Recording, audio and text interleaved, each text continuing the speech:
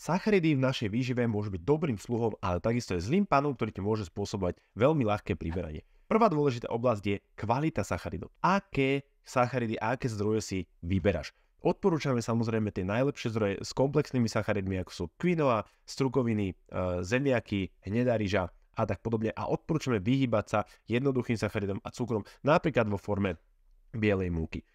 Ďalší dôležitý aspekt je množstvo sacharidov. To znamená, koľko denne tých sacharidov máš na svojom tanieri a koľko ich máš v jednotlivých porciách. Všetko záleží od toho, aké máš ciele, aký je tvoj typ postavy, aký máš tréning a koľko sa hýbeš a aké máš napríklad zamestnanie.